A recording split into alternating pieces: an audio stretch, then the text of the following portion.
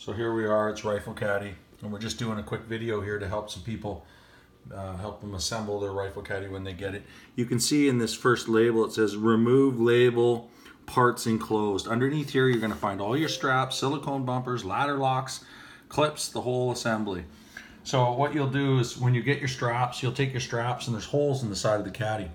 You'll run your strap through there. You can see it there. You can see how they go in between through there. And then what you'll do is you'll put your ladder lock on first, like that. Just so you can see that. And then you'll take and you'll put your clip on like that. And then you'll run this strap back through here, just like this side. You see that? And then you'll size it up accordingly to your center console lid.